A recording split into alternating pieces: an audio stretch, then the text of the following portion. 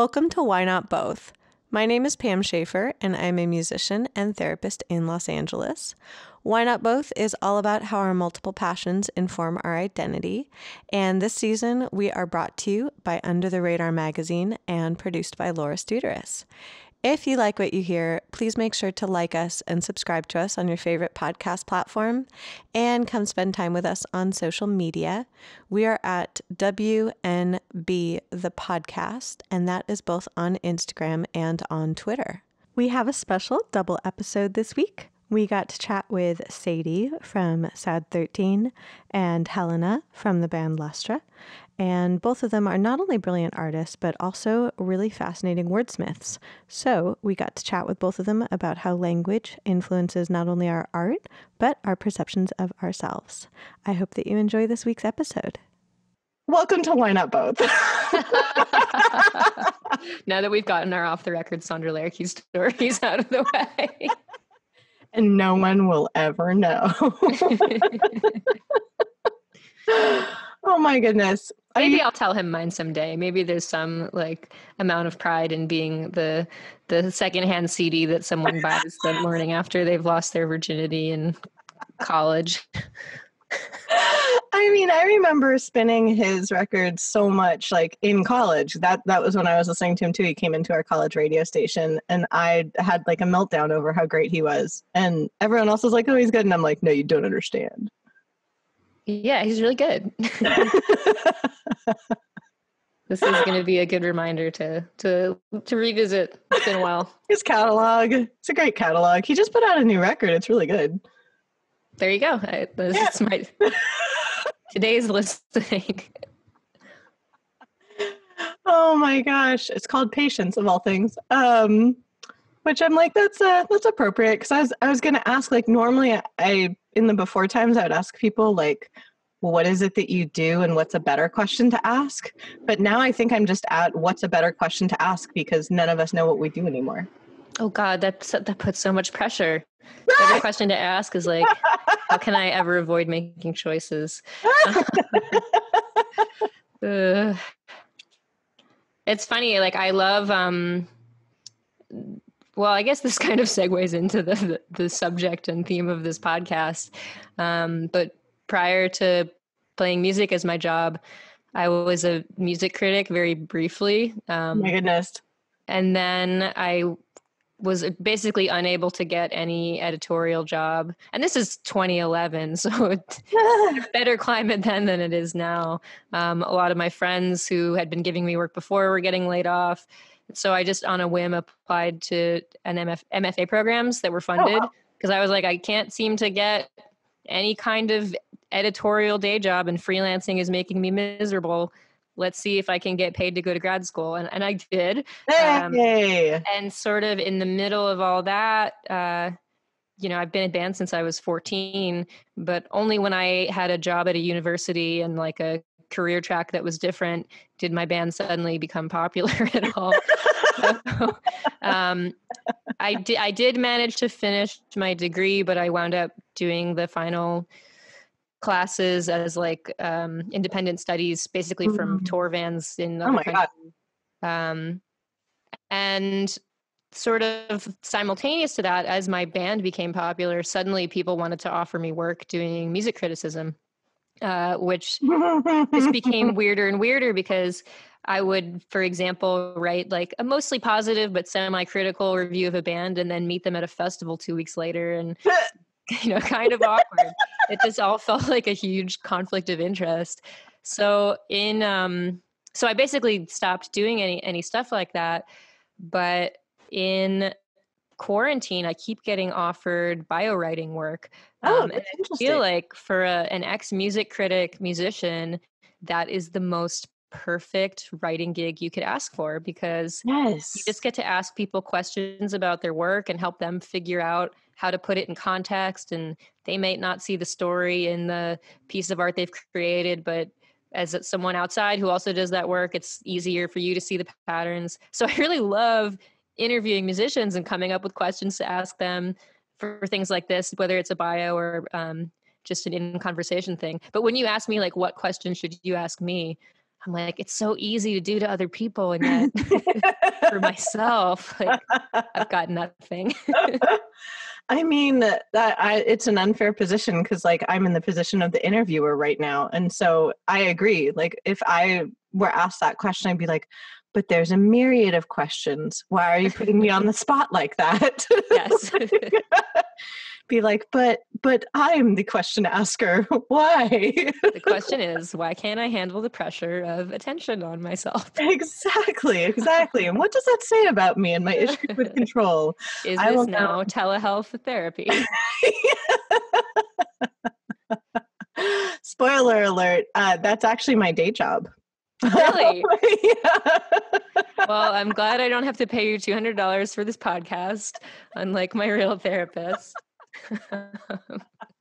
but it's so funny. It's interesting when you're talking about the dynamism between like music criticism versus bio writing because in a way it's like you're asking the same things but it's a different framework. yeah. So I see water keeps coming up in these lyrics. Why do you think that? Say more. exactly. Tell tell me more about that. Well, and in bio writing, it is really hard to see your own story from the inside because you're living your story. And so you don't have the perspective of someone outside being like, "Oh, let me connect the dots for you," because you're you're in your story. And so Yeah.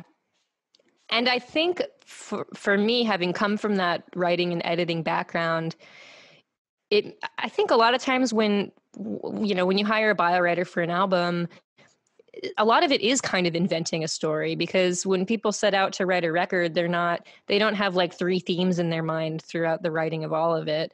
A lot of it's sort of connecting the dots at the end and you know maybe overselling a framework that wasn't necessarily there maybe you know on a subconscious level but but people don't often sit down to write with a mood board in front of them right. um, right. at least not records so I think that my background in doing that has made me a little bit better at saying like, oh yeah, the themes of this record are such and such, uh, and I'm kind of thankful for having had that background because I feel like it's made it easier for me to do interviews and things like that. I see friends who really just got into music to you know play shows with their friends which is the same for me but they didn't have experience with like other corners of the music industry so right. once people put attention on them, it becomes kind of like me when you were asking, is there a question I should ask you? They just don't really know how to respond.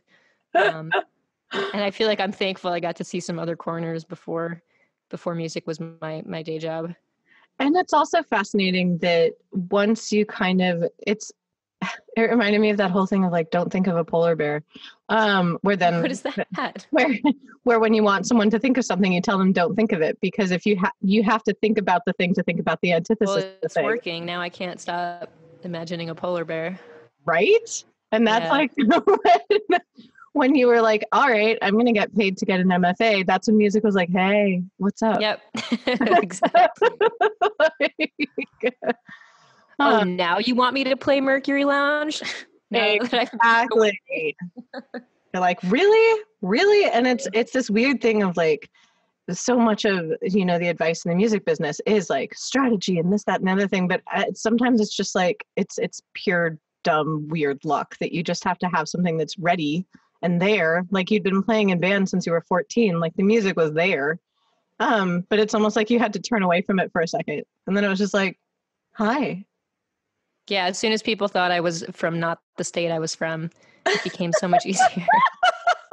what state did they assume you were from? well, I grew up in New York, and I um, I grew up in New York, then moved a couple other places as like a teenager, mm-hmm. and moved back when I was twenty, uh, and was playing in bands kind of that whole time. And when I went for my MFA program, it was in Massachusetts, and when mm-hmm. I went up there is when I started doing stuff under the name Speedy Ortiz. Mm-hmm. And to this day, I cannot escape people saying that I'm from Massachusetts, even though I put in some years there, but not that many years, and I'm certainly not from there. Um, so funny. But as like a you know someone who'd just been in New York forever and playing around New York, I got offered a lot more shows at better venues in New York once I was not a New York band. What? it's so weird.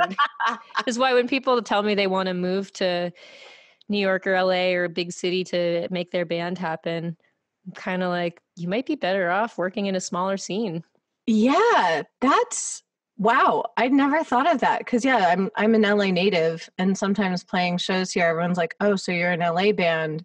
Though I guess because, well, I mean, no one's playing shows now, but it's like I am frankly more of a studio writer. Like I, mm. I prefer to hole up and play with synthesizers and hide like a weird mole.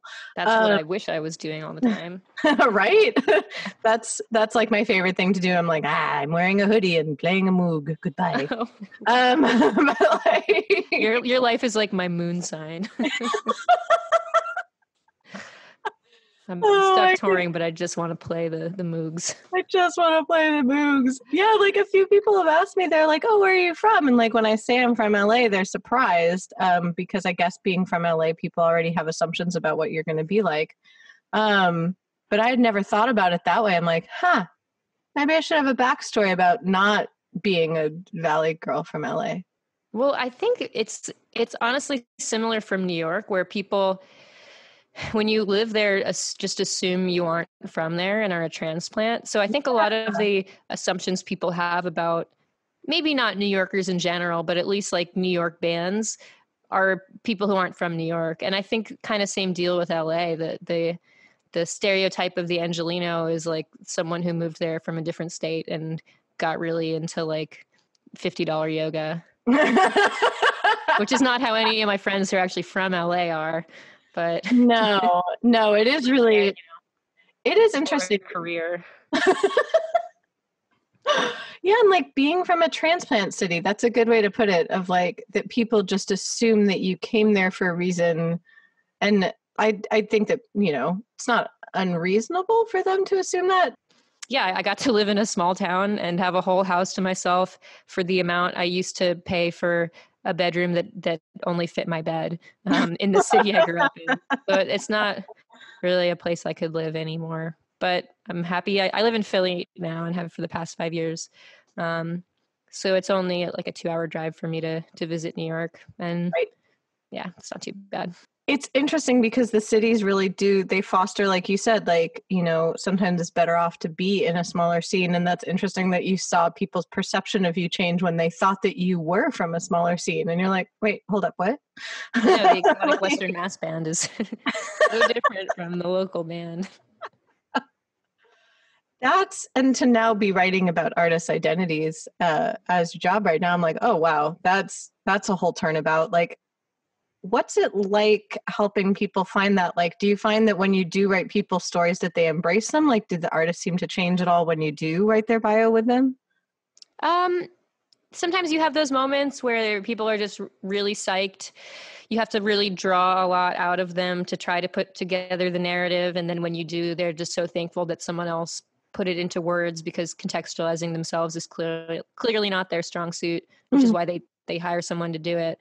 Um, so that can be really gratifying but it's also it's just as fun to work with people who have a really clear vision of what they want communicated in their bio and that that makes my job easy. If they can write up the top tell me here's how i grew up like here's what my goals are as a result of growing up in that way and draw some parallels between that and the songs um, that kind of hand holding is obviously fun too because i don't have to you know pitch a narrative of someone's life to them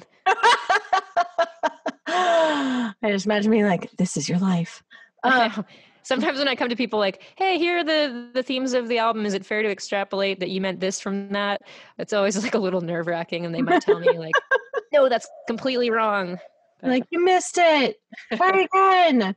yeah, and that kind of it's interesting thinking about artist bios in general because thinking about right now since everything is online, it's like Oh God, that Eminem lyric just popped in my head. I'm like, you only get one shot. No, you don't. You actually get a lot of shots because we see things repeatedly online. Um, but, but, it's like to make a cohesive impression so that people know who you are because there's so many people online right now that it's like if you can't grasp kind of a, at least a kernel, that you're like, oh, I see who this artist is. I see why I might resonate with them. I want to listen to them like it's so hard to get that across sometimes because you're like oh who is this person? And all you have to go off of sometimes is like an image or two or like an insta caption or things like that. Yeah and when you're totally new you you might not be looking at other people's careers in the way where you're cognizant of how to put that together for yourself um, yeah. and i think that especially when you're a brand new artist that first impression you you better hope it's accurate because you're just going to get stuck being asked about it 10 years down the line um, says this new yorker who this week got asked about growing up in massachusetts. Uh, love that. I'm just like so how was it? No. Would have loved it. Would have been very idyllic. Your your made up childhood was you know perfect. Oh my goodness I was also thinking about when all of a sudden you said that then your music did like take off like what was that like self concept wise that you'd been like okay i'm gonna do this mfa and then it was like jk you're in a tour bus now.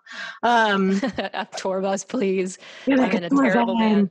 Um, tour van and for a long time it was a minivan with you know drums in my lap. Um that is the way. what was that like? Uh I mean, obviously gratifying in in a, a lot of ways, um, and something that was kind of funny about it being the Speedy Ortiz project that the, was the one people cared about. I'd spent the previous five years in a band. Um, someone I was I had been dating and the band kind of broke up when we did mm-hmm. but it mm-hmm. was I was still the primary songwriter but he was really doing the production he was playing we probably split the instruments between the two of us, but it was just much more collaborative than mm-hmm. the early Speedy stuff, which I home recorded. I played every instrument on. Um, it was just really all me. So mm-hmm. for that to be the project that suddenly people were psyched on, there was certainly a little bit of, of cockiness with that. Like, oh, that shows you. We spent five years building this, and here are my home recorded demos made on a laptop mic, and I was able to get the gigs we couldn't get. I think um, I think part of that is just, I mean, I'm sure you see this too when it's so much easier to get an artist's first album covered than it is an artist's like sixth album. Um, I think yeah. people have a real fetish for what's new, which I understand too. I'm always like to discover new artists. Um, I'm also very loyal to the artists I've been listening to forever. Yes. But um, I think that was a, a big reason that it suddenly became easy. I'd spent five years, you know, building up to a certain level with one band, and then there was something new, and the old opportunities were still there, but but also the ones of people who are excited about the new thing. So um, I don't know. I, I I view in the same way you said earlier, like it's a matter of just continuing to do the work, and sometimes you get lucky.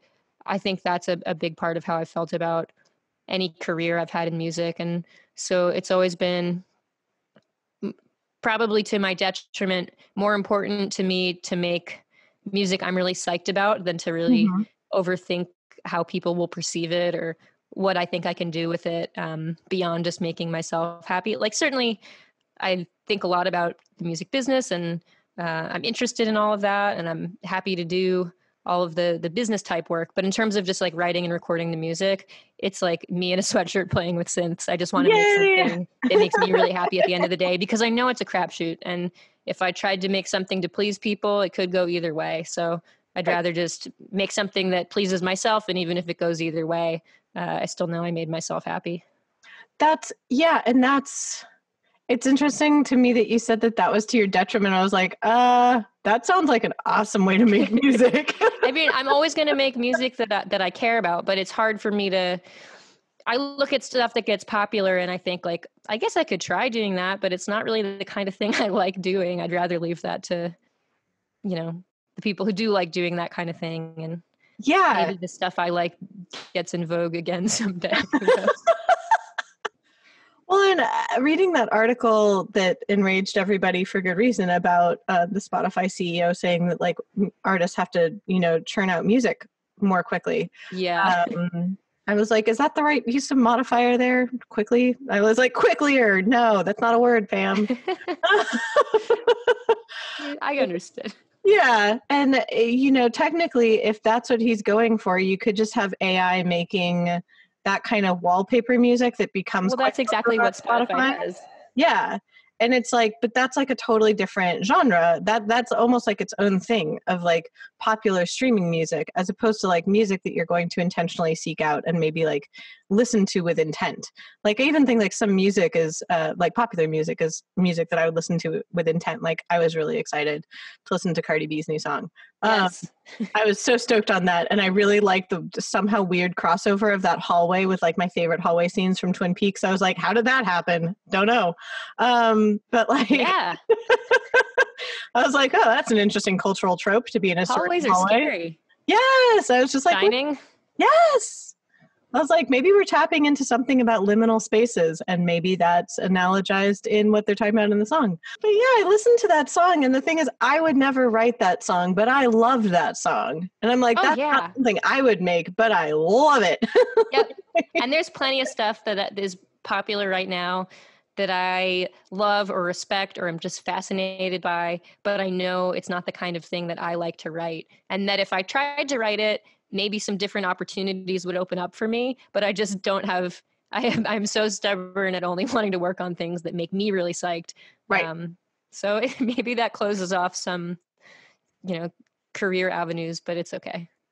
Well, and also knowing like knowing kind of like what's for you and what's not. I was talking to an artist yesterday about the difference between like writing songs for yourself versus writing for someone else, and that it was almost easier in a way um, that she was talking about to write for someone else because then she could imagine that she was that character, like who Mm. she sees that person as. Um, and I was like, oh, that's a that's a really interesting writing exercise. And it's, it kind of reminded me of like the whole like Beyonce Sasha Fierce. What was it? Beyonce Yeah. Sasha Fierce. Oh yeah, Sasha Fierce. yeah. Yeah, and it's like kind of like almost like making yourself a character or writing for a character that's another person. Something different would come out than if you're writing just as something that necessarily maybe you would want to hear. And I was Yeah. like, oh, huh. It's funny. I'm trying to to wrestle with some of that right now because as I've been at home, there've been a couple projects that have come up where someone's asked me to produce for them remotely, where basically they just send me the song and I'm building out the track from home. yeah, Um, yeah, yeah, And yeah. I'm such a bad I'm a, I'm a bad collaborator, I think.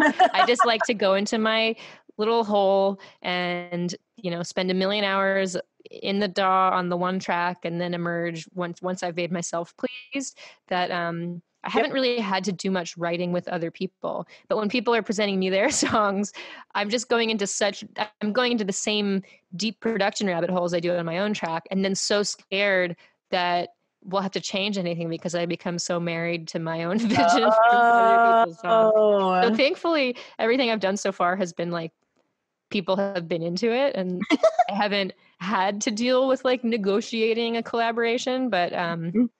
Yeah, I need to learn to to do more back and forth. I think. well, and one, it sounds like they're reaching out to you for production because they trust you. So So, maybe they know that I'm this horrible. Yeah. guy. yeah, they probably are just like, you're going to take this, you're going to squirrel away with it. And when it comes back to me, I'm going to like what you did. That's why I gave it to you. Crossing my fingers, but Yes. yeah, I think Huh. writing writing for other people because this is just production stuff. Uh, I haven't written for other songwriters before, but maybe maybe that will help me get out of the the preciousness of like every single synth part must stay intact Must or else the song is compromised. with production work, like I just started producing one of my friends this year, and I had to kind of like uh, really get myself in the mindset of not being precious about my work because I, I knew that like ultimately it's it's his song, Yeah, and like if there was something he wasn't into. We could change it, and that was okay. Because like I, I would have these initial moments. He's like, "Oh, can we change up the beat in this part?" And like internally, I'd be like, "No." but it's perfect. yeah exactly externally i was like sure So let's just say hypothetically, in this situation, let's change up the beat. But the beat you made is perfect. You like just save it for another project.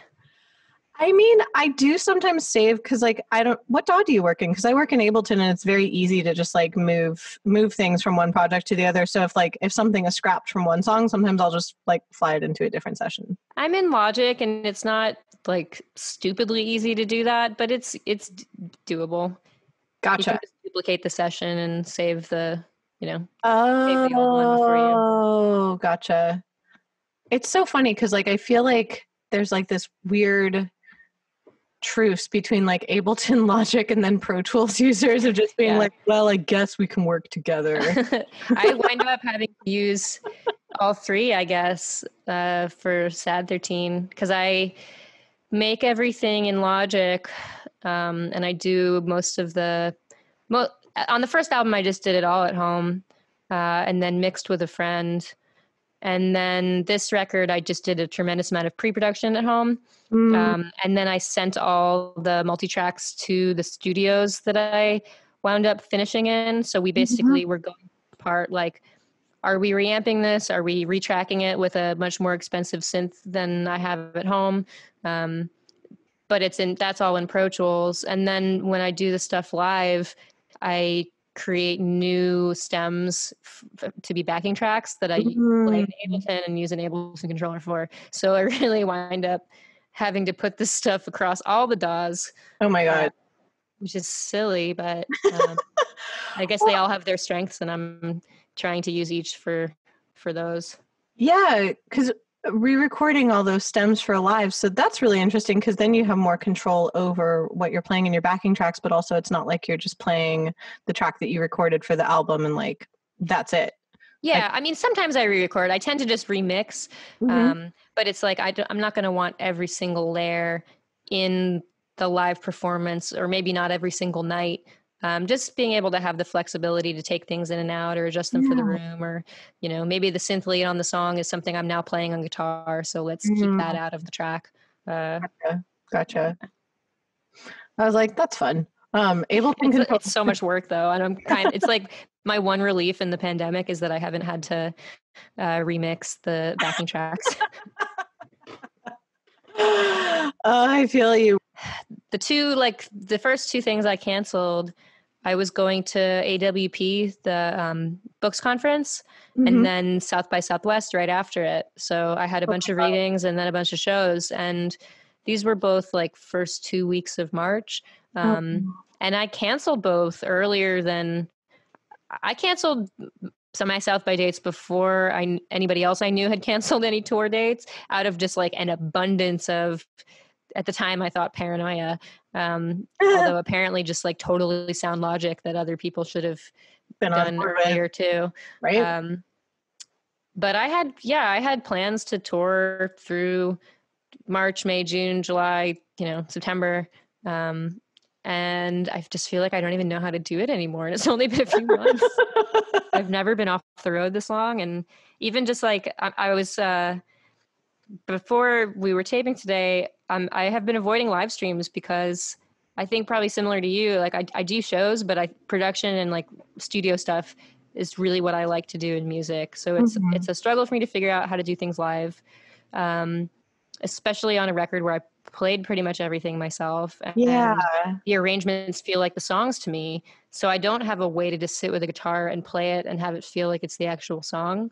So I'm Yeah. sitting here trying to figure out how to, you know, finger pick different synth parts that are a weird rhythm to the vocals and have it sound cohesive enough on just those two, you know, guitar and voice.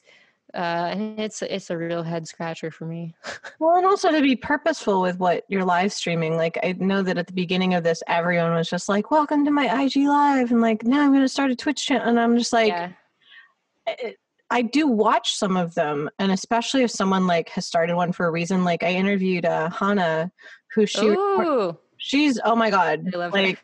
Love her so much. She was such a delight, and like watching the way that even like it was prior to all of this that she crafted her album on Twitch. Like, so she was showing people like how you produce an album live, and that to me was like, That's cool. oh, you're using this for a reason. Like, there's a there's a reason behind why you're live streaming this, as opposed to just being like, yep. It's me. Yeah.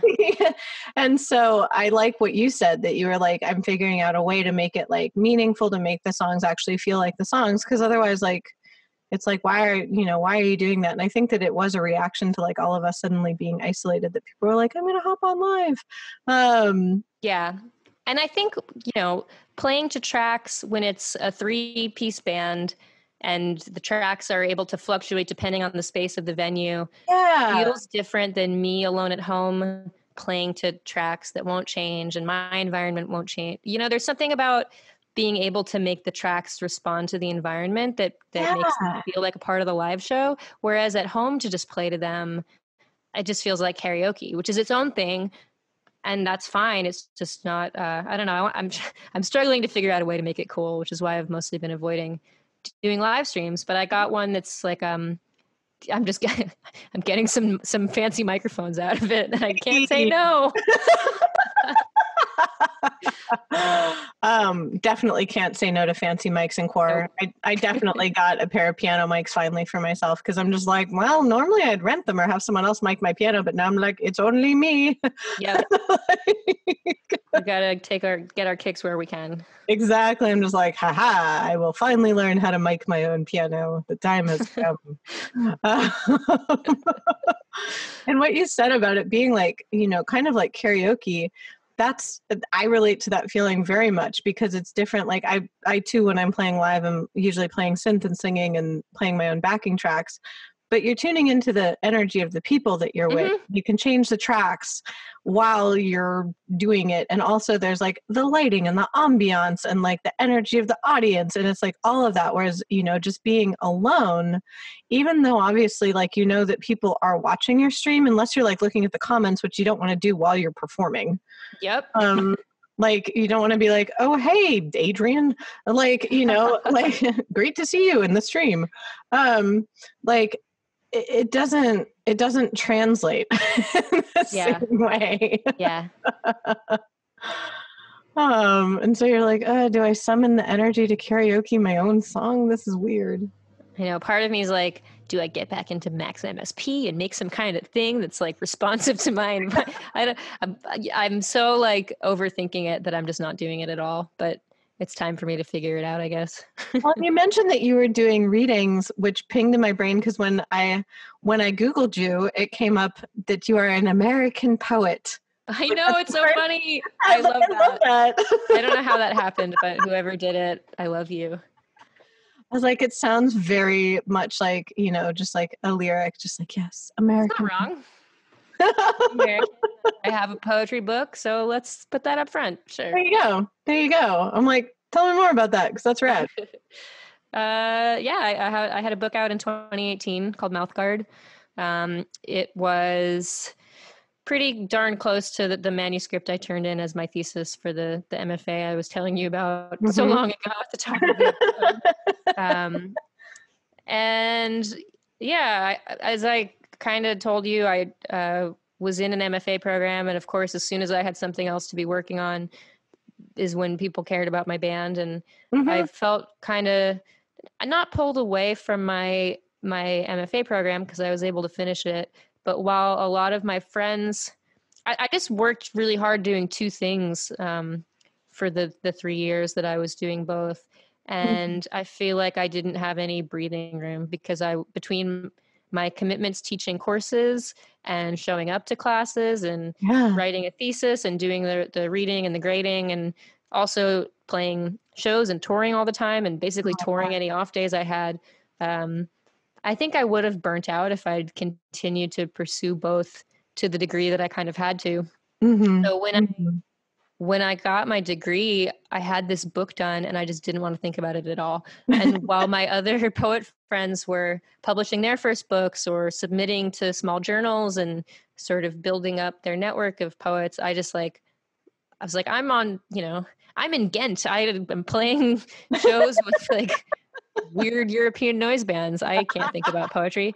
Um, so I didn't even bother sending out the manuscript until three years after it was done. And I don't know if you are like this, but I'm the same way with albums. Like right now, I have an album done that's not out. I'm not writing any new music. I'm just waiting for this to come out so mm-hmm. I can feel like it's that chapter's closed and I can move on to whatever the next thing is. Um, and it's very similar for me with poetry. I had this book done and I just didn't want to be writing new work. So I, I yeah. barely was.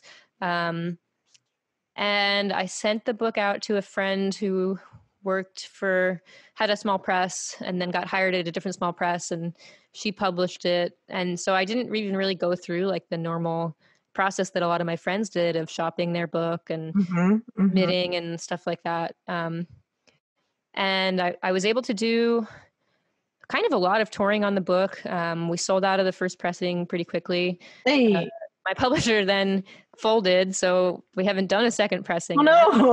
Um, I was like, but- yay, that ah, it's okay. Roller coaster. unfortunately very common tale. Um, but the exciting thing was once i had it done i was like interested in working on a new book. So i spent the last couple years writing one and uh, really just kind of finishing it up right before quarantine. And i have a second manuscript done now that i'm being much more proactive about than i was the first one and i've just kind of started sending it around so that's that's fun And you spoke to, you know, like you said, that when you're pursuing two things, that you would get burnt out if you were pursuing them both to the degree that you wanted to. And it's almost like I find that when I'm talking to people who do two things or three things or more, like the Spanish Inquisition of things, uh, that it's almost like things kind of have their season where it's like you know that the other thing will be there. And like almost like when you're done writing an album or writing a poetry collection, it's almost like you want to do that honor of sending that into the world and being like, okay, that's done. Uh, yeah Moving on to the next thing, because I don't know if you have this feeling, but if I start writing more, be, like almost like getting too ahead of myself, I lose interest in the thing I haven't released. And then I'm like, oh, no, no, no, no, but this That's new why I is won't so do much it. more interesting. i yeah. don't want to not care about the album that i have to promote Yes. And then I'm just like, oh, but this thing is so much better. And it, it goes back to what you're saying about novelty, where it's like I'm almost obsessed with my own novelty. Mhm. the new thing is always the most exciting thing. exactly. I'm like, ah, that that gives me lots of dopamine in my brain. The other one's just like a molecule. Why would I go for that one? Th- that- this explains like 90% of my creative decision making. Yep. And Yep. I read, um,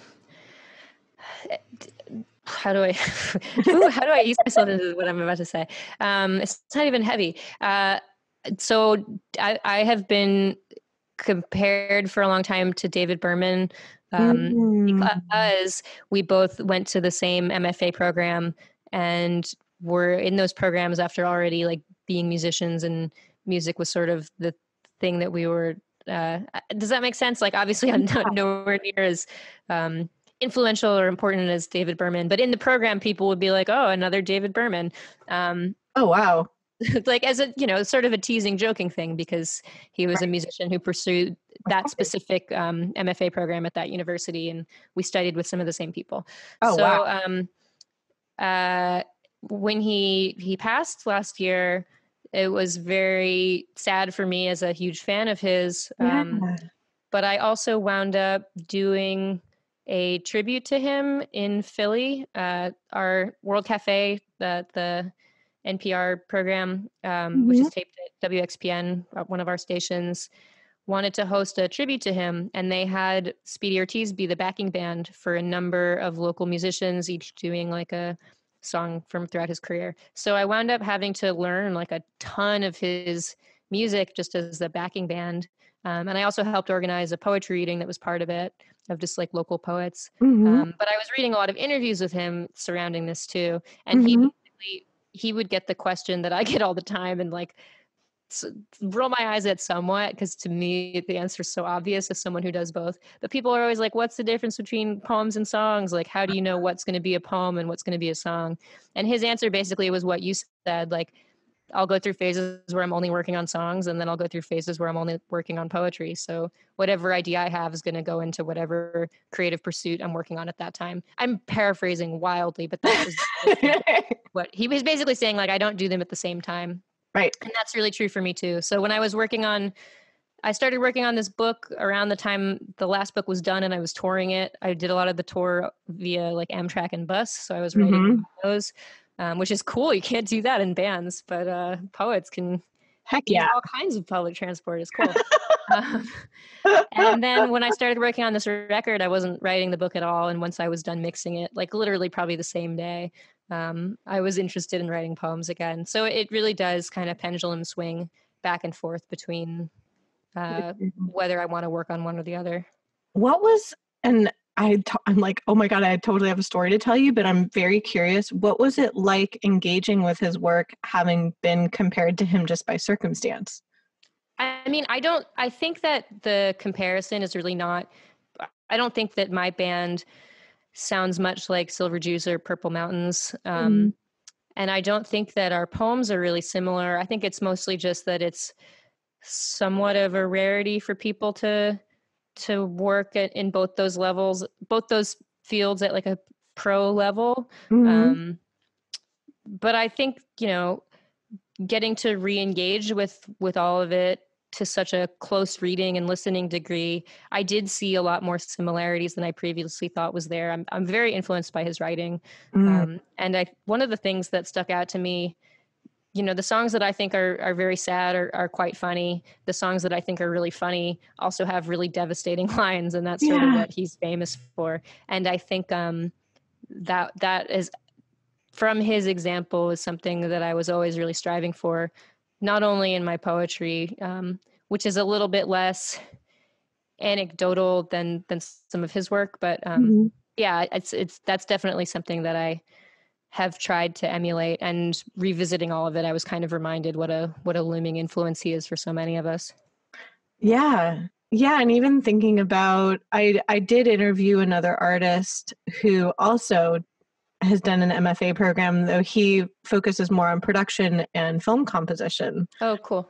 Yeah um and he's on the east coast too uh, though not in western massachusetts. I'm in philly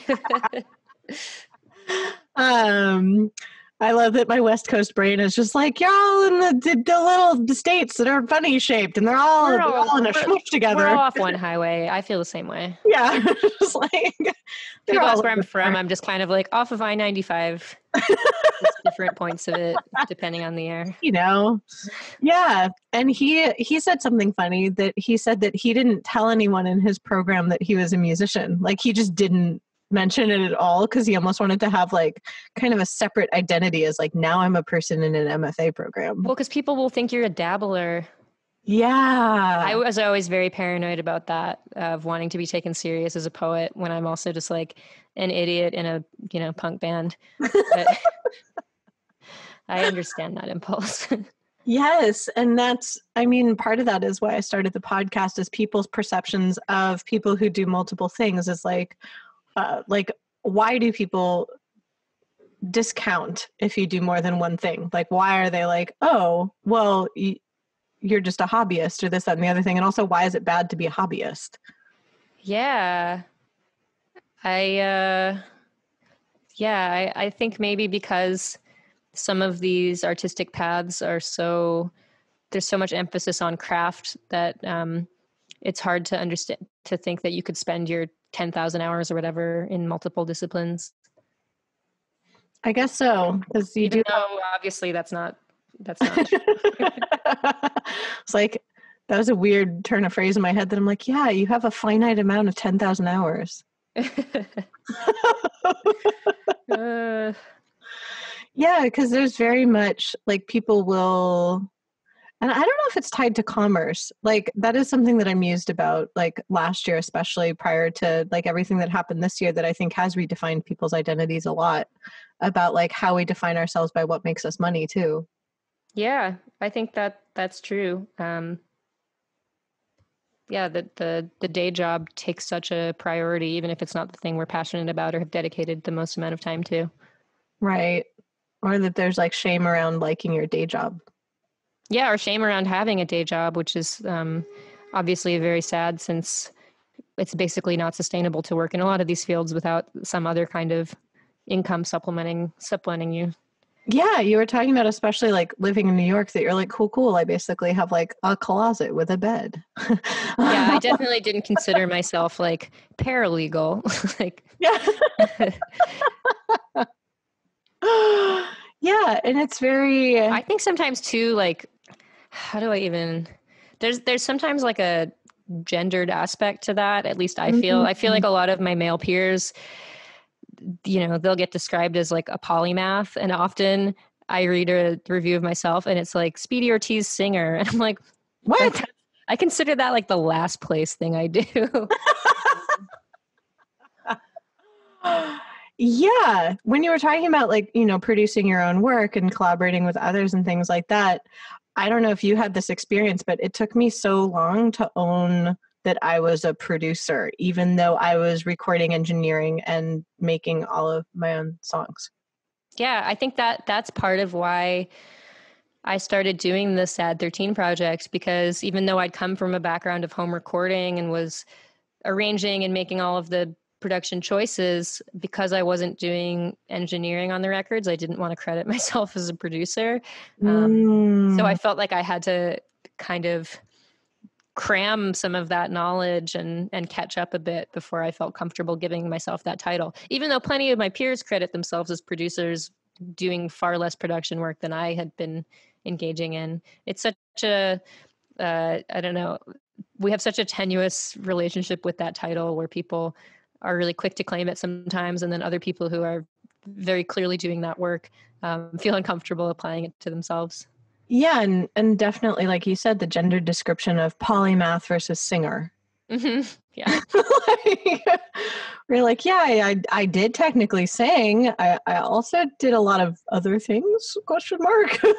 yeah, it's funny. This new record, um, I, I I played almost everything I programmed, I wrote all the drums, like programmed drums, and then got my very amazing live drummer Zoe Bratcher to play some of the parts I wrote um, where drum machines wouldn't wouldn't fill it. Right.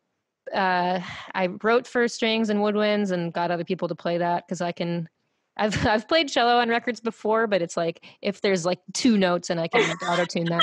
Um, but beyond that, the only places I really got outside contributors were were for vocals because mm-hmm. I'm like I can play all this stuff or at least fake playing all this stuff, but I can't really make my voice sound drastically different from myself. Right. Um, so it was really fun to get to bring in outside singers to provide those different timbres that I just can't produce with my my own voice.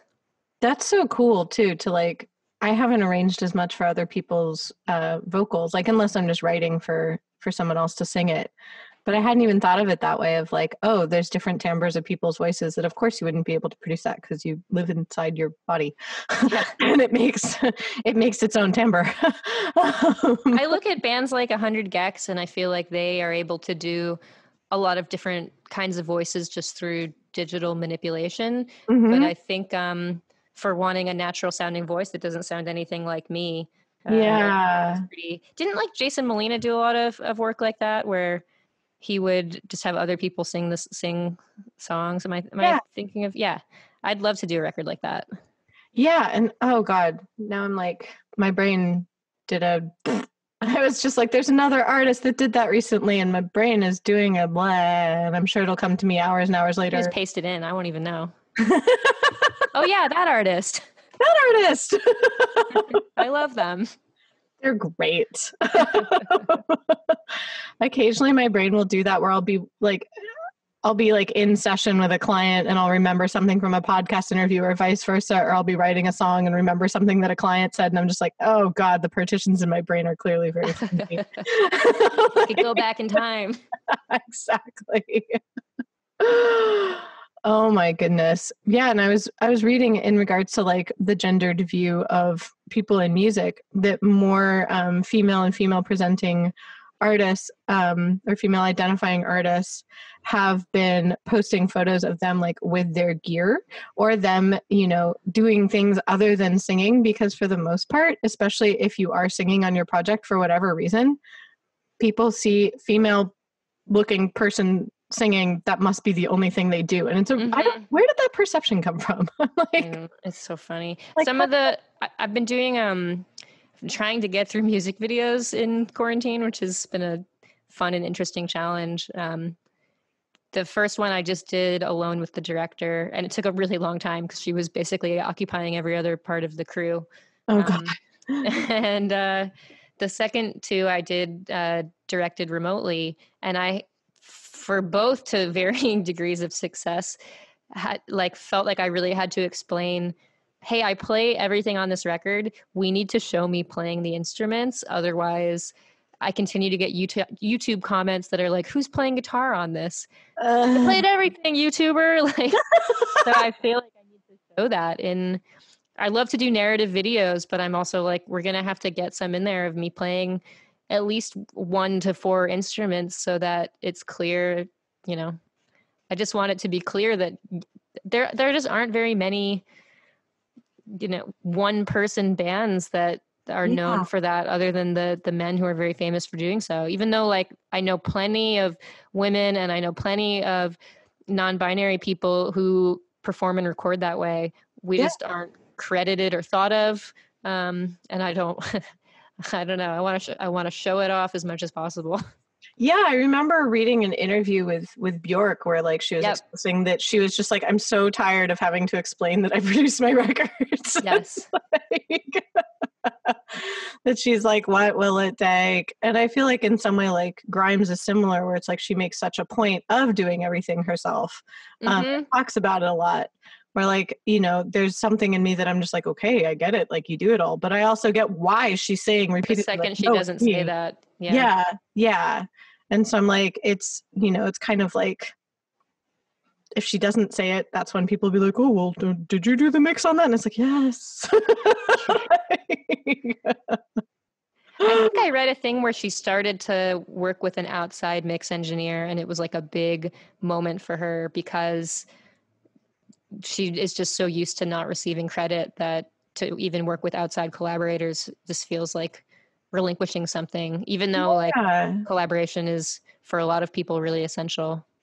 well and i find i don't know if you find this but i you know it's taken me a while to find people that i really trust with my Mhm. stuff but that when i send my stuff to like the two people that i really like that do mixes they hear my stuff differently than i'm going to hear my stuff because i'm too deep in my stuff much like Yep. you're writing artist bios where like the artist is busy living their bio so it's I like really need that outside check. There might be some really annoying frequency that's happening the entire time, and I just have heard it so much that I'm immune to it. exactly I, I can't be my so I mix my own stuff once in a while for like one-off projects, but on albums, I really rely on someone that I have a good working relationship with, and I also can't mix remotely. Um, I think because of that that same thing of like just needing to be hands-on and uh, even if it's someone who I'm a great collaborator with, just being able to be in the room to say like let's ease off on the depth of this one plugin. mm-hmm, Um, mm-hmm. When you're just getting something without context, it's hard to know how to make the exact changes you want.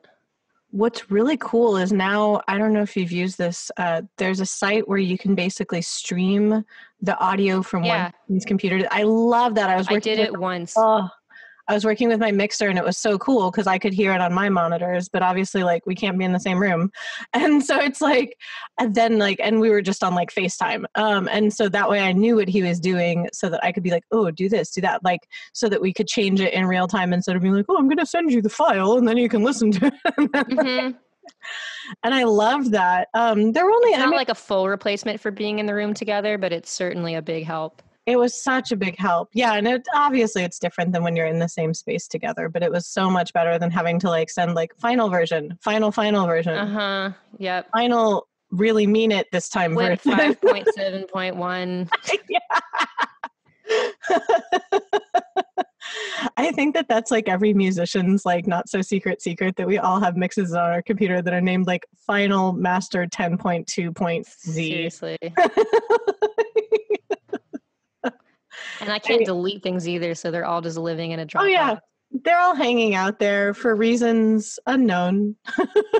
What if I want to hear what the first pass of the master of this album from 2013 sounded like in in another decade? Exactly. It's there. That's why we all have I don't know if you have these, but I have like a ton of like external hard drives Mhm. in my iCloud space. Yep. I I pay for like every kind of cloud storage possible, and they're all full. Yes. I feel like any non-musician listening would be like, why do they do that? And any musician's like, I feel seen. Because I'm a hoarder, but it's for files. Oh my god. I guess like in closing, what advice would you give to someone who is engaging in multiple things? Because it sounds like you've pivoted a lot over the last like few years and then certainly over quarantines. I guess what, what would you want to know if you were a listener being like, how do I do all of the things? Um, I think my my big advice and the thing that, that I think has been the biggest help to me is I've just been flexible um, and maybe like a, a, pessimistic form of realism. Like I know that when opportunities come up, they might not be there forever. So I've tried mm-hmm. to pursue them as they come up. Um, and I think that's allowed me to do a lot of kinds of work or collaborations or interesting projects that, um, you know, if, if I was more conservative about my time i might not have been able to get involved in at the same time the advice that i need to take for myself is uh, learning to say no sometimes even mm. when the mm. project seems exciting because i certainly have a tendency to say yes to everything i'm excited about and then it doesn't leave time for the projects i care the most about like mm. like making a mm. record um, so i think working to find that balance for yourself of uh, how much are you comfortable saying yes to like say yes even when the project scares you a little bit because that might wind up the most interesting thing. Um, but if it's something you've done a million times before and you feel overwhelmed by you know the possibilities of these new things just just being able to look at your calendar and, and be re- realistic about your time so that you can get sleep uh, those are those are really the two things i think about most when i look back on what i've done that i think was smart which is to mm-hmm you know say yes to new projects that might seem scary but um, would help me try something different. And mm-hmm. then also when i'm like oh i should have said no to you know doing the millionth like radio performance right. because um, i needed to sleep that day and i just i was like ah oh, what is sleep? Well i'm pretty familiar with it now and it's going to be hard to go back.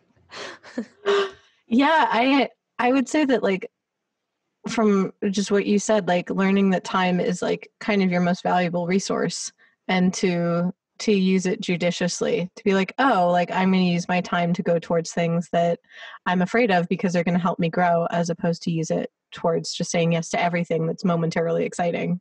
Yeah. Um yeah. yeah, yeah. i like that advice. I'm going to do my best to take that advice. Me, me too, honestly or I'm like, exciting things? Yeah. Sleep? What? oh, well, thank you so much for joining me on the podcast. Yeah, this was really fun. Welcome to Why Not Both. We've been talking for like 10 minutes about rad stuff. like, no one will know what it's about. Yeah. Secret mm. podcast. I'm so curious. Before in our secret podcast moments, we were talking about video and how it had evolved. And I was like, tell me more because you just released that today. Yeah, it's true. Um, this single's called Wczoraj. Um, the song has been out since uh, May 1st, but the video only came out uh, this morning. Mm-hmm. Um, I finished working uh, with it with the director Tomek Pieniak um, only only a few days ago, and because we had a couple of mishaps. Uh, first of all, we had uh, an, an, illness on the crew, and uh, this put a hold on the works, and we had to wait a little bit. And then, of course, the pandemics came, and uh, of course, it it took its toll as well but here it is here is this video and i'm really glad how how it came um, across from this kind of you know um, very minimal concept of just me uh, being this robotic personality mm-hmm. in a studio uh, in neon lights and stuff into a, like a full-on story of not one but three different people who, who, who, get like a kick in, uh, for doing stuff uh, after watching me performing this this, this that. persona that I am in video and this is this is amazing I felt like it would never be possible but but yeah, here it is. It's possible. It's here. I was curious. Like eh, usually, at, before the pandemic, I would ask people like, "What do you do?" and what's a better question to ask. But I feel like during the pandemic, it's it's just better to say like, "What is a better question to ask?" Because we've all like restructured what it is we do. Oh yeah, I don't know. This has like fallen in line with so many changes in in Lustra as a project. I mean, Mhm. we came well. It it came from being a duo to being my solo project. So I Mhm. I'm spending the the lockdown and the well the not so much going out time uh, into into um, learning my Ableton Live and learning production and I started working on my new material from from the from the very basics. I mean, it's really exciting. Ableton like is when- so much fun. It is. It is also kind of I don't know about your learning curve and your approach to things, but I'm like, are you uh, more of an explorer, or would you rather have someone teach you um, stuff like Ableton? and I'm a mix. Like, have you taken any workshops on it online, or have you been doing it mostly on your own? Or I've done, I've done, I think I've done a single tutorial, and the o- o- other other thing is just clicking around, and my yeah, husband's showing me around too. I think this is my this is my best bet. Like I want someone to like, give me a quick tour, and then I can uh, play around with it. yeah. Like that's. I think I'm I'm similar to you in that if I want to know how to do something really specific, like I will look it up, and I tend to I'll keep the tutorial up on like my phone or my iPad, and then like follow along on my computer. Mm-hmm. because otherwise I'll watch the tutorial and be like, oh, that makes total sense, and not remember any of it. Anything, yeah. You have to like stop it bit by bit and yes. try try the stuff out and, on your own machine. Yeah. Otherwise, you get you get so lost. Exactly. I'm a big nerd Yeah. of music production. oh yeah, that's, that's great. Um, I, I, wish I co- could kind of absorb it without doing all this much learning, but I've been like that with everything. So. it takes a long time. Like I have so much Mhm. admiration for people that I've worked with um, because I definitely for a long time, and I don't know if you had this experience, I would watch them do it, and it looked almost like sorcery. Where I was like, how does that happen? Yeah. Yeah, sorcery or something really, really effortless. I have the same impression when I'm, I don't know, watching ballet. It looks like they were Yeah. doing this and they, it looks so natural. But it's just, you know, all the hard work behind the scenes that we don't know about and all the crunching in, in Yeah. front of our computers, right? That people don't Yeah. see.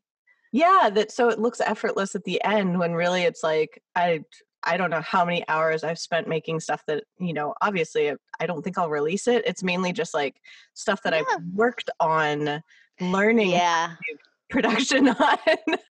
yeah, twitching, twitching with it. Yeah, Yes. it's like a long, long road ahead of me before I even like release anything. I'm I'm trying out there. I just get like All tiny the plotting hands. I'm like, yeah, friend. it's like knitting, really. yes, where the first thing you make, you're like, here is a lumpy scarf, but I made it. Exactly. So I got a couple of these up my wardrobe at the moment. Next up, you're like a lumpy scarf, but with purling as opposed to knitting. yeah. Could be that. Yeah, knitting is good for your patience. I should probably knit more. there we go. There we go. Oh, no, I'm gosh. I'm knitting I'm knitting songs instead. oh, that made me happy. It was a York had compared embroidery work to production work, and I I found that rather apt. Yeah, this is this is precisely it. Sometimes you're really like mad at what you what what happened, at how you can't get somewhere uh, Yes. you want to be. Yes. So- Sometimes you destroy your work because you're not happy with the result, and but Yep. then you start again, and exactly. the, the Exactly. result is beautiful and exquisite. Yes, yes. Have you Mhm. been doing during all of this? I know that you do a lot of translation work, which fascinates me, especially because in your email you said that you focus on song lyrics. And I was wondering if you've been doing that during this time too. Uh, yeah, uh, actually, I uh, I write more lyrics than I use. I uh, sometimes I'm a lyricist for other people, so Mhm. I've been I've been doing my my own lyrics work and also for for some other acts. Mm, I don't do much song translation. Mhm. Uh, perhaps because Polish and English are so totally different in in terms of composition, and I devoted an entire master's thesis into uh, translations of uh, English songs into Polish, uh, done by people who are so way more renowned and way better than me, and they the translation still didn't sound very natural and still didn't Hmm. sound very well. So I I, li- I like uh, I like you know looking at it and comparing it and seeing how how the fabric of a song is different in in each language and how Yeah. how the, the metaphors can't really you know get translated directly but how the the semantic dominant as Barańczak called it of a song is transmitted from one language to another uh, too bad so many of these songs were I, I don't think any of these songs that I've analyzed have been recorded in Polish. Uh, it would be wonderful to just hear them. I've I've Yeah. spent a lot of time singing them out loud to myself for comparison purposes. Yes. Yes. That- but, uh, there are no official records. That's fascinating. Like, what initially inspired you to do that? Because language is so particular to culture. And, like you said, that there are certain metaphors and images that really are so specific to that language. And I was like, oh, I'm curious what inspired you to do that. Mm. I think uh, I've always been in love with rock and roll, and rock and roll is so rooted in um, American and British culture. Mm-hmm. And I think what, and this is where where the music originated, right? It basically got imported Mm-hmm. when uh, first Polish rock acts um, started writing music in like 50s and in the 60s. They could only like look up to their Western colleagues, Mm-hmm. and there was really no benchmark. So it was like transferring a, a musical structure, which is very, very uh, language specific mostly Mm-hmm. Mm-hmm. and I, I found it extremely fascinating that this and also the lifestyle that came with the music i think the the, the young poles in the 50s and 60s were uh had absolutely like wild ideas of what the rock and roll people looked like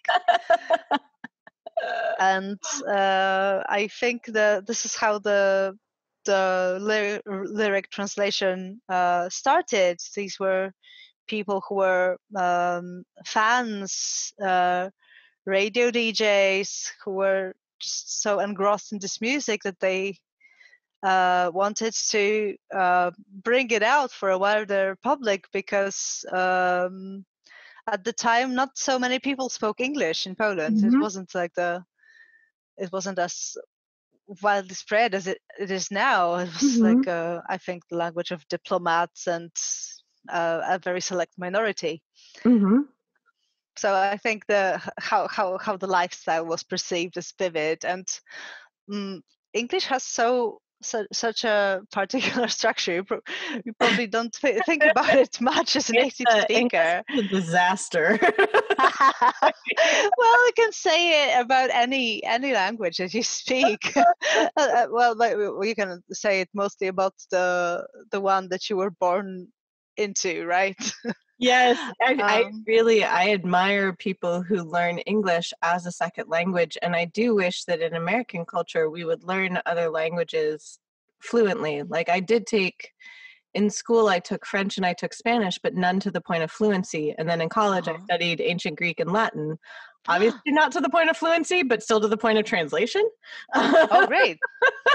um, my skills are very rusty right now um, because needless Oh, to say yeah. it's not a great everyday skill unless you're a classicist but True, you you absolutely can't have a conversation. in either of No. no I didn't graduate in English studies, and this is what most students do. They, you know, they learn medieval English and, and stuff. But I uh, I can't curse at people in in the, that language. I can curse at them in Polish and there we go English and French and Spanish and perhaps Welsh if I if Ooh. I dust it off a little bit. But, Ooh. That sounds like because I was like French has some really really great swears. oh yes, I love British swear words. oh Um, yes, I think the Shakespearean swear words they're like the most descriptive and yes. the longest. they're so they always they're so like pointed and crunchy, whereas the French ones are so just like they're almost like sly. It's like I'm insulting you, but in a really really funny way. But it, yeah, but it, but it's you you almost feel like thanking me for this. it sounds so good. That's so funny. Yeah, and when I was when I did study other languages, especially in translation, that is when I gained a lot of uh, both sympathy and empathy for people translating into English because I was like, this language is like a mishmash of so many different things. Where you, in some ways, like steal structure from so many different languages, but like cobble it together. But like we conjugate things, but not really. We don't have declensions on things. Like it depends on weird word order. Like it's just I'm like, oh my god, trying to learn English would be a nightmare. True. Uh, I don't know. Uh, English somehow came uh, naturally to me because I was like so. I don't. Uh, it was like all around me. My my parents both spoke English, which wasn't like very. Um, like I said, it, it wasn't. In, it didn't happen in every household back then. I was born in the eighties. My my dad is a massive fan of rock and roll and uh, British music, especially. Like he loves the Beatles. Mhm. Like they're the, like his absolutely top act of all time, and uh, he wanted to do English studies, but he he ended up studying something else. But he was also always fascinated by English, and so Mm. I've learned nursery rhymes when I was a kid, and Oh. uh, I don't know. I've learned a lot of English from Cartoon Network, for example, because back then in the 1990s, it was only in English in Poland. Yeah. might come as interesting. Well, and Mm, so especially yeah. then you'd learn like all sorts of like little American phrases too. I would guess True. from different Yeah. cartoons. Yeah, from from Dexter's Lab or uh, the Powerpuff Girls. Oh my god, that kind of thing. I loved the Powerpuff Girls. Yes, absolutely. that stayed with me. That's oh my gosh. And you said that your mom spoke English as well. Yeah, she did. Uh-huh. She she speaks a couple of languages, also French and German. Oh wow.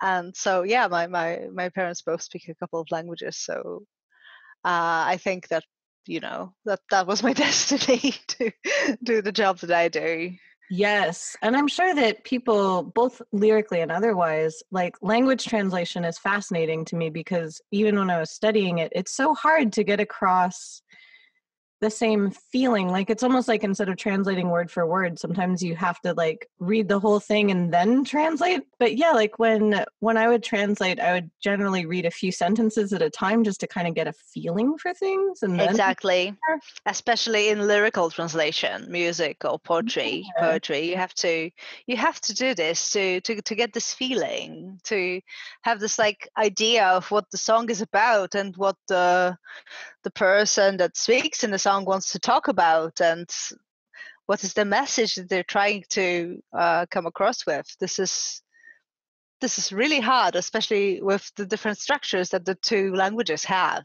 English has so many like one syllable words for example. Mhm, mhm. they uh, you probably don't, don't don't don't notice it because you're a natural but they come in great in songs. They they finish off every every sentence every uh every verse uh in polish words are so long really Uh, words have different lengths and this is mostly why uh english song english language songs uh co- tur- turn uh, out so clumsy in Polish. because I would guess that like like you're saying, there's too many. It's almost like there'd be too many syllables to fit into. Too many syllables. True. Yeah. hmm If Yep. you want to translate word for word, that's like basically impossible because the words are too long, and you'll end up with like so many extra syllables and sh- sh- sh- sh- sh- that you don't know. Yeah, what that to you're do like no, no. yeah, there has to be something else. oh, so it sounds like it's almost then. In some ways, is it easier to go from Polish to English than English to Polish when you're translating? absolutely yeah it go it's it's it's fairly easy and it's absolutely uh easier to write a song in English than it is in Polish. Wow. I I don't know. Um, there are many many bands elsewhere, everywhere speak sing in English because I I would bet that it's for this exact reason that uh, their language is less clumsy and uh, it's like more more concrete. Uh, Whereas Mhm. a shorter messages come across more easily than with with, with such an oblique language Polish is. and that's very a different reason. That, pardon? Yeah, it's very direct. This is exactly that, and it's a different reason than I don't know. For example, Swedish or Icelandic bands singing in, in English. I think it's it's something else because it's pretty well generalizing. It's the same family of languages as English Mhm. is, but uh, in Polish, uh, apart from like not not so many people speaking the language uh, outside of of Poland. Um, I think the the length of the words and and this ease of you know making up words fit the melody. Uh, it's it's it's why so many bands turn turn to English. Well, and I would imagine that attempting to express images that um I'm trying to think of even how to say it. It's like that you might have linguistically in Polish culture because like the the language always reflects the culture. So it's like trying to express those images in English might be like kind of a fascinating challenge. Of course, of course. Uh, uh, but it helps a lot that many, uh, especially rock and pop songs, talk about themes that are quite universal: love, heartbreak. yeah. what else is there? Not not not much is there really. Just in a cycle, just love, then heartbreak, then love, then heartbreak. Love again, yeah. I was thinking about a third thing to make a nice triad, but I couldn't find it. Like, Oh gosh, are you okay? I am. There was a leaf blower outside about an hour. Oh no. Everyone's like, "Oh my god, do you have the Rona?" And I'm like, "No, I just. I my body thinks that trees are a mortal threat." Oh my gosh, I've heard, I've only learned about the word the Rona yesterday from a Guardian article. it was so amazing. I don't think we came up with a nomenclature in Uh-huh, in, in. Polish yet. You, you English speaking people are so creative. There's been people said the Rona. Now, like people are referring to like staying inside as just the quar instead of like Uh-huh. quarantine. The whole thing. It's like, oh, what are you? What have you been up to during the quar? Or like, what phase of the quar are you in? Like, oh yeah. yeah, we are. I hadn't thought of that. Like, we are really adept at coming up with very strange little shorthand words. yeah i think this is why why english is so good for songs so another thing i don't know just it's just so e- words come easy They do. And now that I think of it, like the meter in English, it's easier to fit English words into different meters. Or at least Romance Mhm. languages, you can kind of massage them into different meters. yeah that's, that's mas- massaging the words I, this is this is a wonderful concept Sort of gently nudge them towards a meter. uh, uh-huh and they might fit in or not but they mostly do they mostly do. They're they're in there. they're they're ge- they're gentle they cooperate exactly exactly i was thinking of like english and french and Mhm. even i mean it was a bit tricky with uh, i would say in ancient greek like when i was translating that like i was Yeah. translating homeric greek which is in dactylic hexameter which is Mhm. it, it fits really well with greek. But i'm trying to imagine it like i did translate into english and it was it was a bit of a challenge to get it in there but Uh-huh. you could still you could still manage.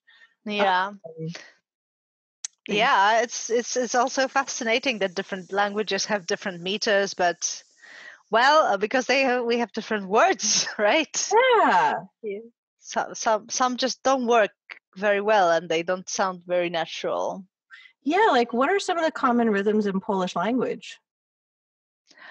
Oh, I'm re- not really prepared with this. Like surprise, super nerdy Yeah. question. This is a very nerdy question. I have to like, I I have to uh, use some aids here because I haven't had a Polish lesson since 2005, which is a long Everybody just be time ago. in our PowerPoint section of the podcast.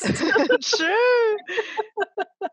like in English, it, it can easily follow almost like a like a sing song rhythm, like da da da da da da da da da da da da. Like those Yeah. are very easy rhythms in English, but I would imagine that those like that it doesn't follow. And because like what language system is is Polish related to? What we have um, is also the dactylic uh, meter. Mhm. Uh, the every third syllable is accentuated. Mhm. Uh, apparently so. But wha- what I remember from uh, poetry classes at school, uh, for example, that, for example, one of, of the most renowned Polish poems from uh, 19th century uh, Mhm. is written in like a 12 uh, syllable meter. Oh, interesting. So again, this is like very uh, or 13 syllable meter. So this is like really again long phrases. Yeah, because I was thinking it'd be like da da da da da da da da da. Like that's, but that's a very different feeling. Mm, yeah. Ooh. I like that I'm. I, I like that you're going very with me on this journey. Ah, I'm like, welcome to Why Not Both. We talk about dactyls. Dactyls, like, yeah.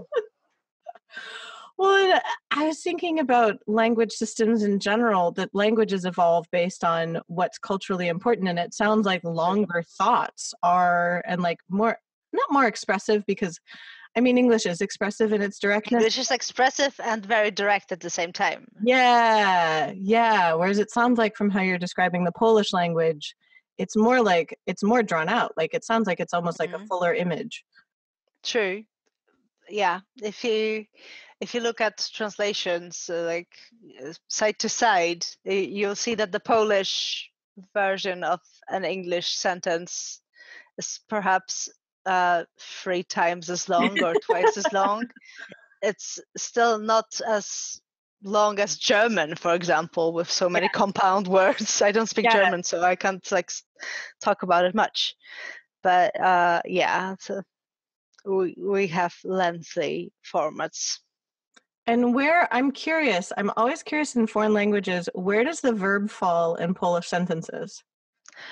This is this is uh, tricky. Uh, I think it's um, somewhere uh, about the middle of a sentence Mm-hmm. or the first part of the sentence. It's not as Japanese, for example, when it when it falls somewhere at the end, and you have to Yeah. wait uh, until the very end of the phrase to to actually know where uh, w- what's going to be said. I don't know how simultaneous interpreters work in, in Japanese because this sounds so this sounds so impossible to do. Yeah, to like hold the whole, especially doing live translation, like uh, holding the whole sentence in your mind until you get to the end and then being like, ah, there we go. True. Oh, oh no, this is something else. Yep. yeah, I was wondering because of that, like because English it can fall kind of in the middle of the sentence. You can even have sentences that are just a verb with an implied subject. Like it's such a directive language that I find it interesting that even in um, like in the classical languages, the verb can kind of go anywhere um, because it's just based on the ending and the form of the verb, like what you know, what tense and what Yeah. number and everything it's in. Um, and I always found that fascinating that sometimes you get the verb like very soon in the sentence, and sometimes you're translating in a few lines and you're like, where the heck is the verb? Like, True.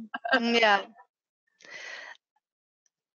And I don't know why I'm so focused on verbs, but I'm like, yeah, like knowing that. Verbs are important, right? yeah, it's the compelling part sometimes to be like, where are we going with a sentence? True.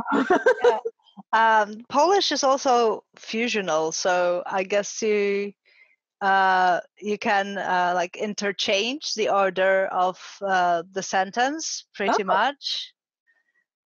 For example, if you if you say like Mary loves John and John loves Mary, it would Mhm. mean something else. But in uh, in in Polish, like depending on the like inflect, inflected verb forms, it might Mhm. mean exactly the same thing.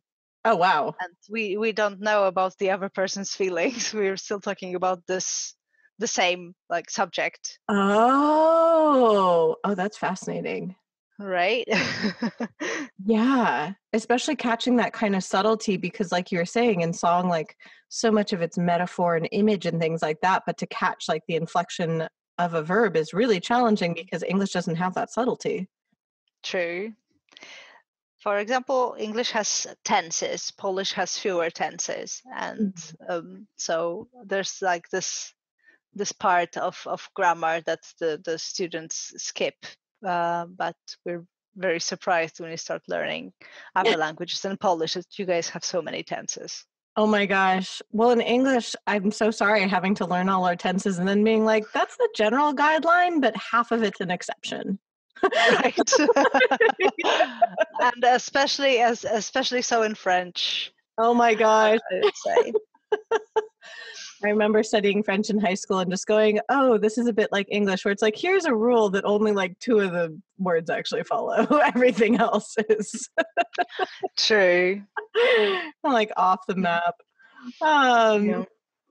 And how do you find when you are working with other bands, like, do most of the people you're working with also speak English as well that you're helping with lyrical translation or not? Or, uh, yeah they they do speak english and um, they have like very advanced attempts to to write their lyrics and most of the time they're just minor corrections that need to be done and it's really helpful when when uh, the the people I work with uh, have this kind of openness and um, and kind of humility to to to come to me and to open their work to to me to to work with them to to make it even better to sound it to make it sound more like natural and more like actual english Mhm. uh, because what bands often do is that they write in write in english but uh, with you know as with every like for for everyone for whom english is not the first language it's, it's not for me either uh, but i've been working with it for a long time and i i think like many expressions and structures uh, Mhm. that bands employ in their songs are very polish so that the imagery is not not not that universal and not that clear Mhm. Mhm. and other another thing is that bands uh, want to sound more like native speakers and i'm i'm trying to work on on their pronunciation Oh, so that gotcha. the, the polishness doesn't like ooze from from the words when when you're speaking of, you know, sounding like a native speaker but having different images, I would imagine that you might come up with, um, in a way, like more unique images if you're writing from another linguistic standpoint than English. True yeah it, be, it with. might be something very original but it could be like so original that it becomes obscure and the listener just goes what the hell what what is it about what, what did they Yeah.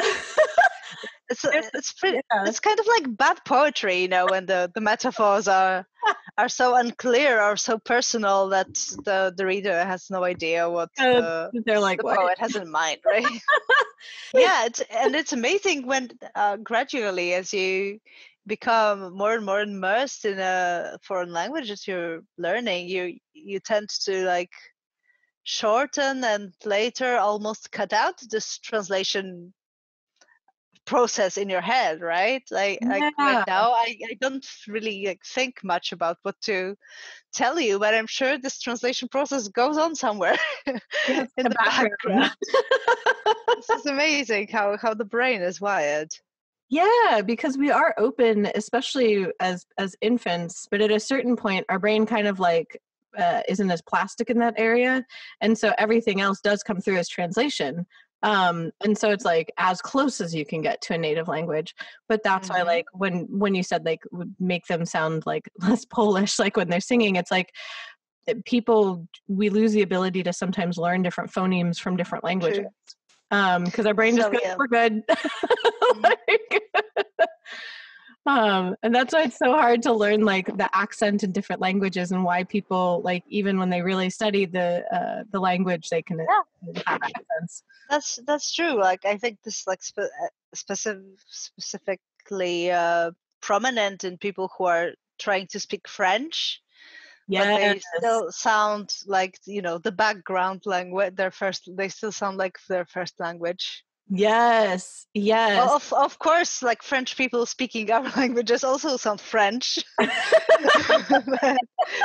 but yeah, some some languages are just hard to hard, harder to mimic than than others. Yeah, like, and some of the vowel sounds, I would imagine at least like English vowel sounds are pretty easy to sing because they're so spread out that like True. It's easier sometimes to sing in English because you can just kind of blah. Ah, yeah, this is, yeah. this is it. And all these, oh yeah, all the fillers like yeah and so on. oh yeah, or ooh or whatever. I yeah. mean, if I if I try to do ooh in Polish, that so strange. We don't get we don't have that in songs, really. right. Or I think if even in Icelandic, like yeah, there's like yow, but like it ends and so you're not Yow. yow at people like that's gonna and mine is obviously very spread so sorry to all my icelandic friends that have to listen to me say yow um because i sound like the valley girl being like yow like yeah, but it probably wasn't very Iceland- Icelandic, but it was no no very realistic. but it has like an in in that one sound it has like an a and o and a w which it's really hard to extend a Mm. sound Like- Mm, all right. this is like some new information to me. I'm so glad you shared it. Mentioned phonemes earlier, and uh, a thought came to me that actually Polish has a lot of phonemes of different sorts. So I guess it's easier for, for Polish people to to learn different languages just because we have we are open to all these phonemes because we're we're exposed to to them from an early age. I was gonna say because you're at kind of the confluence of several different languages. Like I was thinking geographically, where Poland is, like where it would be influenced by different language systems. I was like, oh, that probably has a lot coming from like from Russian and then from Slavic languages and then like yeah, like German language. And I'm like, oh, there's yeah. All of a sudden, yeah, German and French and Latin, of course, and yeah. uh, yeah. So uh, all these influences actually mixed here, and we are learning a lot of languages because, as I said, um, up, um, outside of Poland, like apart from all the people who moved from Poland somewhere else and speak Polish wherever they live, like Mhm. we are the only country with the language, just like I know Iceland or Finland. Yeah. so yeah, we gotta learn some languages. yeah, and I think that it is important to learn different languages because it teaches you so much about what's important in someone else's culture and how someone else sees. And I think that that can really help you empathize with someone else. Mm, that's true. And I, I feel like I'm glad that, you know, like for instance, you were talking about like how inspired your dad was by like US and especially British rock and roll. And I'm like, oh, and you know, like watching cartoons and it's like you got to be inundated with like our culture and our language.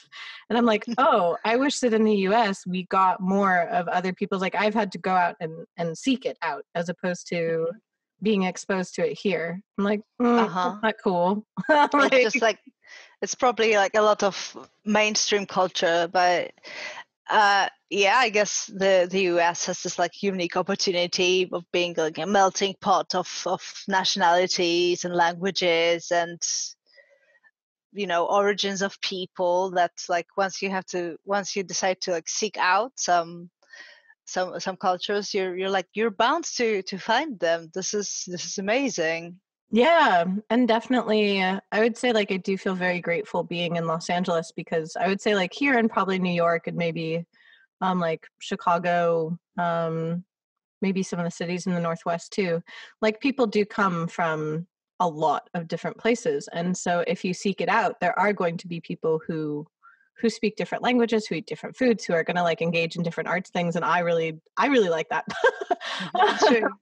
I know that you had mentioned that you you do volunteer work as well and you had said like the mental health field and I was like, "Oh, there's a lot of that going on right now in the US." I was just like, Yeah. "What's that going on your end?" Hmm. Yeah, well, I uh, I um, want to study to uh, be an experienced expert. I'm, it's it's a per, someone who's been through a mental health crisis and Mhm. Um, is trained to to help other people.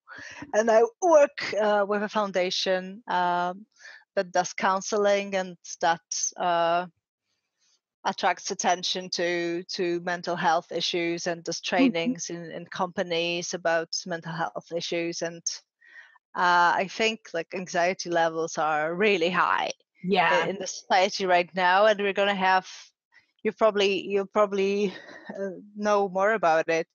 Um, we're gonna have I, I bet we're gonna have a surge uh, on the you know uh, psychiatrists couches and uh, so on because people people feel this way Yeah, I'm happy that you are helping out with companies to bring awareness to it because that is that's exactly what happened. Like especially over the spring and the summer, um, I hired two associates to work with my practice because I was getting more clients than I could I could individually see. And like I've been doing all online sessions, um, but it was it was more than like it was just logistically more people than I could talk to. True, but yeah, thank you so much for doing this work because, like, what what would we do without our therapists? it would be like so much harder. I was joking because um, I saw a tweet that was like therapists need therapists and their therapists need Fiona Apple.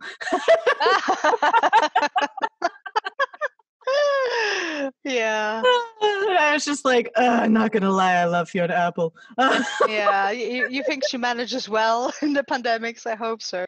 And thinking about like advocating for companies, like I was curious, what are the views on mental health in Poland? Because I know that people have conflicting views in different countries where they're like, oh, do Mhm. people seek out care? Is it something that people are aware of? Are people ashamed of it? Are they like, Oh hey this is like such a vast topic, and I'm so glad you asked. I think there's still so much to do, like uh, knowledge wise and uh, awareness wise, because we still there is this huge stigma of of seeking prof- uh, professional help and of feeling not not feeling well and not coping I think Mhm. uh, we had this like economical transformation going from uh, from the 1990s with this massive like success propaganda that Mhm, you can't can't fail, you can't show weakness, right?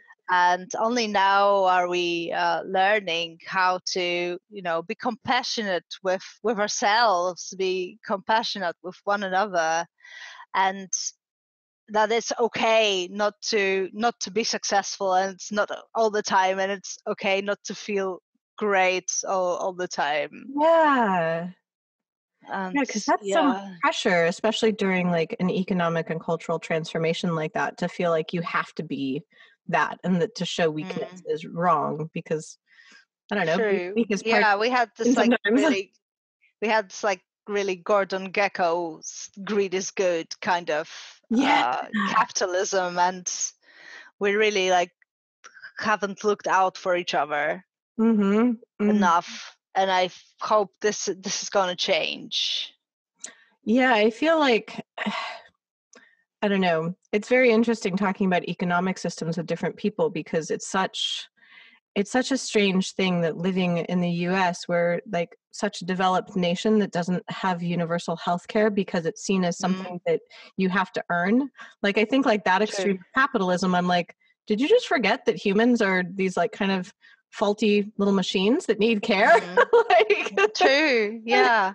and how would you expect anyone to fulfill what you expect of them if you're not taking it's like saying that you would never do maintenance on your car because they just don't deserve it yet. No. To- Yeah, or not- you have to be able to afford it. yeah. uh, Otherwise, your car is just only on the after side of the road, and it's it's your car's fault. It's like it's very strange. like, yeah. Yeah. I think we need more solidarity in, in societies and yeah, And like same with mental health care, like here it's starting to become more acceptable, I would say. And at the very least it's entered like mainstream culture and like people do I would say people joke about it um a lot more, which usually I find when things enter kind of like memes and things like that, that's when there starts to be change because when people are joking about something, it means they're thinking about it. Um, uh-huh. This is this is a great observation. I'll write this one down because yeah, exactly. um, This- This so- is it. And like I don't know, mental health care has moved from this like something Woody Allen did in his movies Right. to something more universal and this is- Exactly. I am so grateful for this. me too. it, it also like applies to to our local men that you know the stigma is even greater that you got to be this Ah, big strong man who will support the family and you can't really crack because you got to be like this strong impeccable figure right. And I'm like, that sounds like awful to have to do that all. yeah this sounds like you know uh, an expressway to suicide really That's exactly how how, thinking. how long can you fake Yeah. Yeah. And it's like that, in fact, like expressing vulnerability or that you need help or taking a pause so that you can come back stronger, like that to me at least is like, I don't know how to define it. Like, I, I wouldn't say like true strength because I don't think I'm like the authority necessarily on what strength is. Um, but Uh-huh. It it seems like a more authentic form of strength to admit when you're not feeling that way. Um, yeah yeah. I, I think being honest is like the the important part uh, here, and this is like especially important for for business to understand this that it's okay to you know to take a to take a pause to take a break Yeah. you don't have to like give the company your 110% every day Yeah. it's okay to do your work at 90 or sometimes 75 I've been advocating, especially during this time, for all of my clients that are like, why am I not performing as well as I usually do? I'm like, Oh. maybe because we're in a global pandemic? Question mark. Mm.